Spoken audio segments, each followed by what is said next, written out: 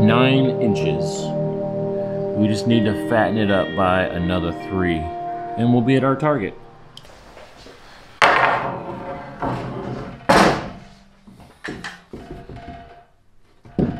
African mahogany.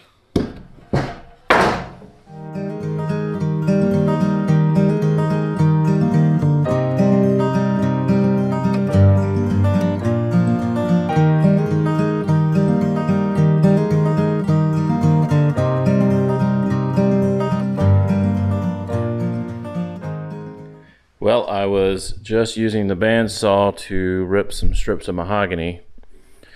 And I heard a popping noise, and then the blade was not spinning anymore. And I believe I broke the blade. But that's okay, because I've got a spare.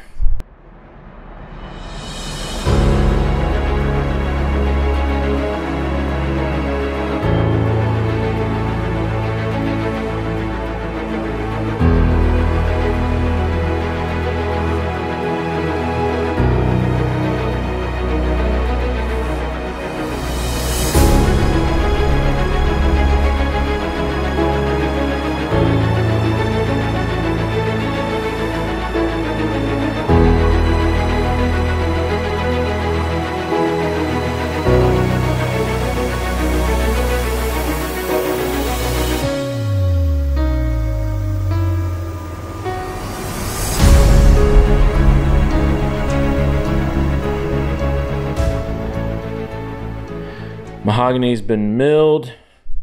We are now at 12 and a quarter, 12 and 3 eighths. So we still need to add something down the middle. And we are going to thin out some of these pieces. And we're going to get it right around 12, 12 and a quarter when it's all said and done.